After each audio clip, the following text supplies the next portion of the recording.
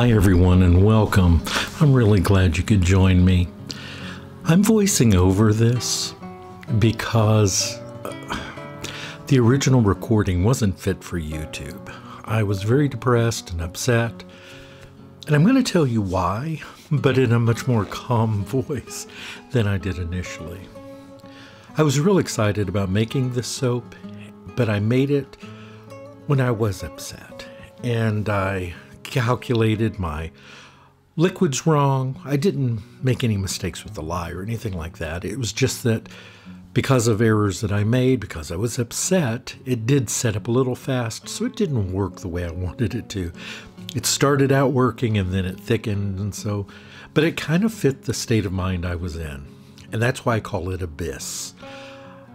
I'm going to tell you a little story about something that happened. And this is very difficult for me to talk about because I'm still a little upset by it, but I have found peace. Let me explain. Earlier this week, someone had, a politician, had met me. I was out with the goats, and they drove by and stopped the car and asked if they could speak to me. And it just so happened I could. so I took a few minutes, chatted with them. Uh, they told me what they were planning to do here in the county. This is a local politician.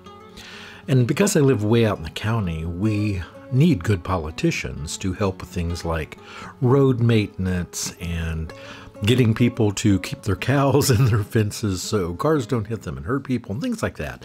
They are a very important part uh, of the community here. This person was running for a commissioner position. And it was a woman and her husband.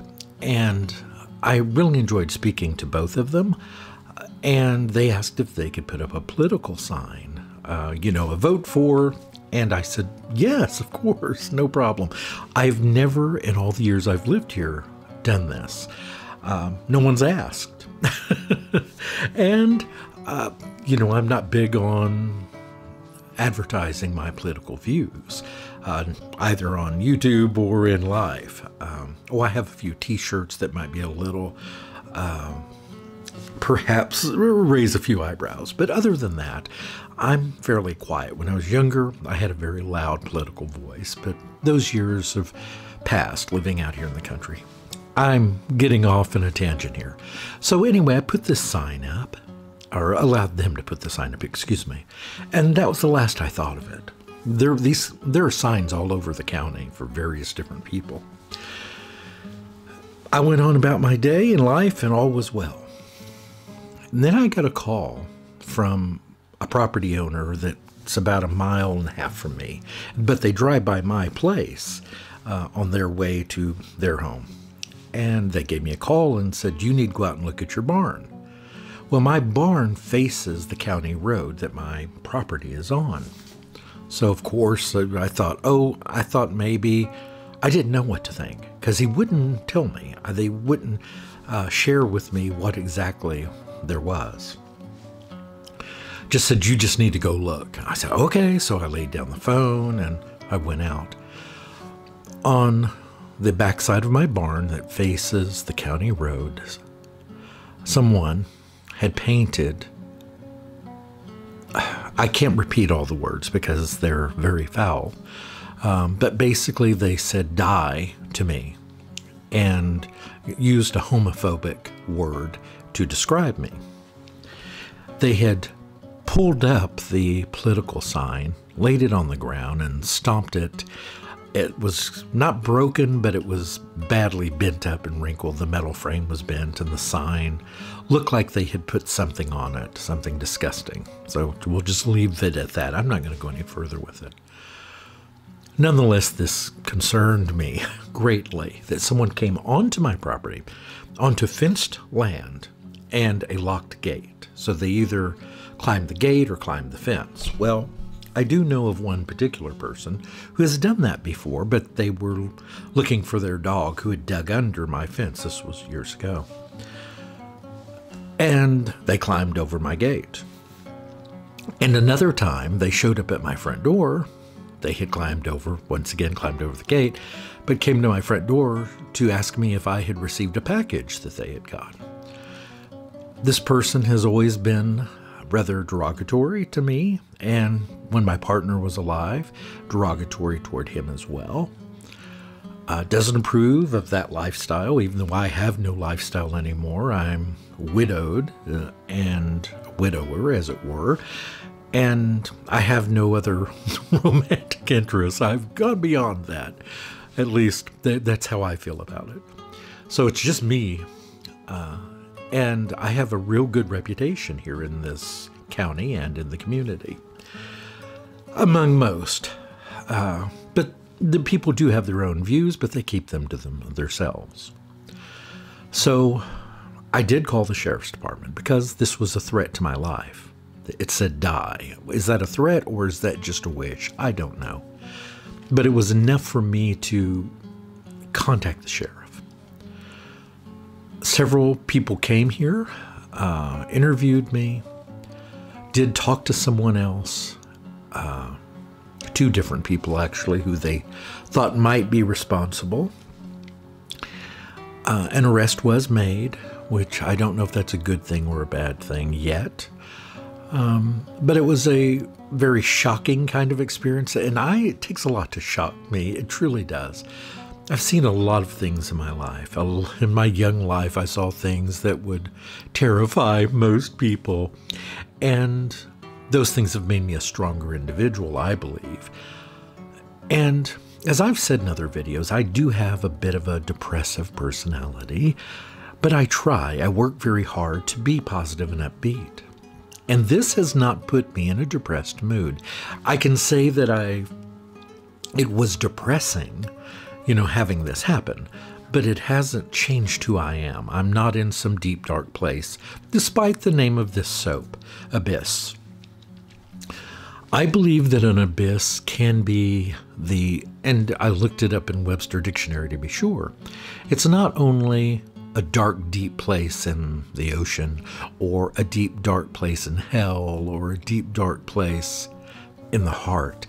It can be a deep, dark place between two people, a gulf, as you may, uh, another phrase you could use, a space between two people that seems almost insurmountable, abyss. And in this particular instance, this person will never like me because they despise what I am, which is just a a gay old man. I'm harmless to anyone. Um, and as I stated, I have a good reputation here. But they basically stated that I am poison to the community, that people like me um, make the morals of the entire county go down. I'm not sure where that comes from. And they believe that based on who I have loved in the past. Um, I, and me having this conversation with you all, I know is perhaps not something you want to hear, and you can certainly turn off this video at any time. Matter of fact, I'll put a disclaimer at the beginning of the video.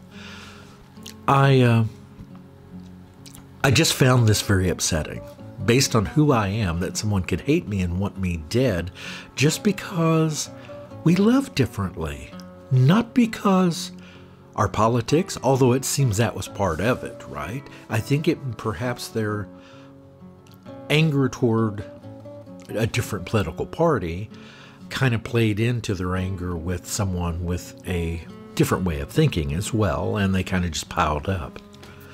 So, what do I have to say about all of this? You don't have to love your neighbor. You don't have to hug your neighbor. But don't threaten your neighbor. If you disagree on something, that's okay to disagree. You don't have to agree on everything. I love Brussels sprouts. A lot of people don't. I actually liked liver when I was younger. I don't eat it anymore, but I used to love eating liver, and I know most people don't, right? A lot of people like asparagus. I don't like asparagus. I have brown eyes. Some people have blue or green eyes or hazel eyes or almond shaped eyes or they may have larger lips than mine. They may have thinner lips than mine. They may have paler skin. They may have much darker skin.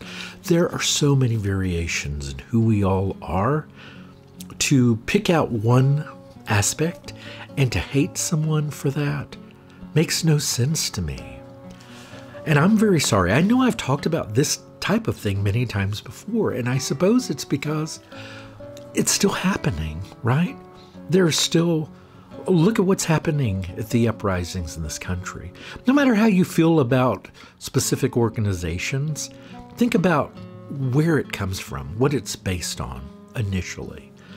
People that feel that they are treated unfairly just based on the color of their skin.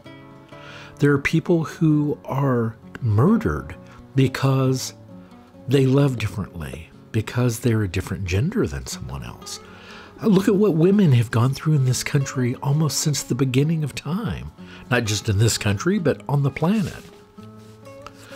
Anyway, I, I am sorry that I made this into this kind of a video, um, or at least the audio portion of it. I had a lot of.